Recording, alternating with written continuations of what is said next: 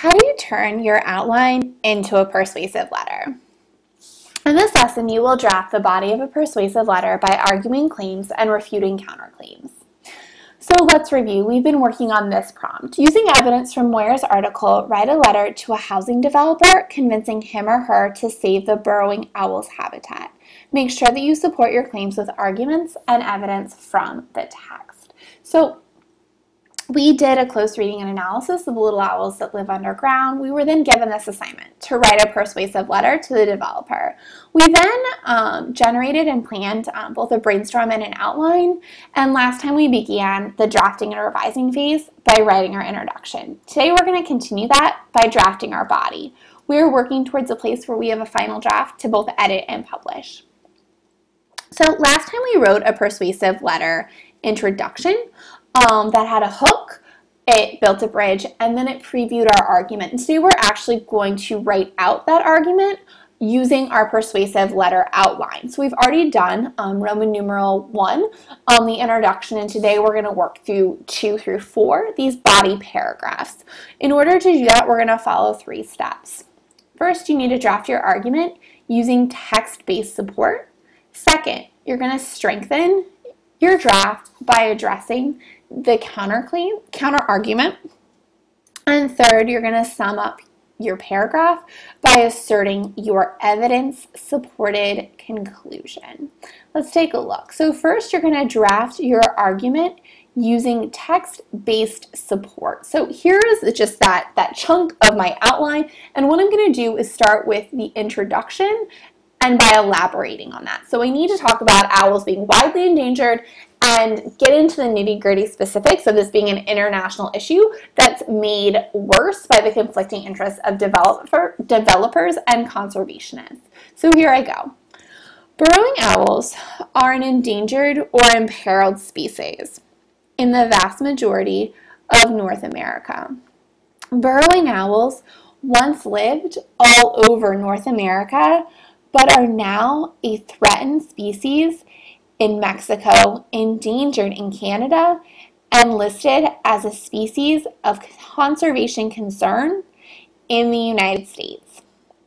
In recent years, burrowing owls have been driven out of their native habitats by projects like yours and are subsequently li- living in non native and hostile habitats, right? I've introduced the problem, that they're widely endangered, and I've elaborated on that by giving a lot of evidence to support the idea this is a real problem. The next thing I need to do is strengthen your draft by addressing the counter argument, right? We want to make sure that if the developer is saying, but what about, that we've already addressed it, that we are fully persuading our audience of our point. So we're going to work through this counterclaim, but the developer might say, it's just a population relocation. This is not my problem. They're still abundant. So we need to address that because we saw in the article that that's not the case, that they are actually endangered. So that might look like this. While some developers and even a few outlying scientists try to claim that there is just a population shift, not a decline, there is simply not evidence to support this. The scientific community overwhelmingly reports not just startling shifts in locality, but a significant decline in population. So now I've addressed the counterclaim. So if anyone says like, hey, but wait, there's moving, I've said no, that's not the case. The scientific community says this is a problem, they are endangered. So now I need to you need to sum up your paragraph by asserting your evidence supported conclusion. So going back to my outline, I'm down here at conclude. I want to get my conclusion that the overall population decline is due to overdevelopment. Um, so here's how I'm going to jot that out. Due to overdevelopment, owls are being pushed out and their overall population diminished. But this does not have to be the case, right? So I've I said do, my conclusion is overdevelopment has caused them to be pushed out and their population to go down. And then I continue to hook my reader by saying this doesn't have to be the case. So Um, here's my persuasive body paragraph, um, and here it is all written out. Burrowing owls are an endangered or imperiled species in the vast majority of North America. Burrowing owls once lived all over North America, but now are a threatened species in Mexico, endangered in Canada, and listed as a bird species of conservation concern in the United States. In recent years, burrowing owls have been driven out of their native habitats.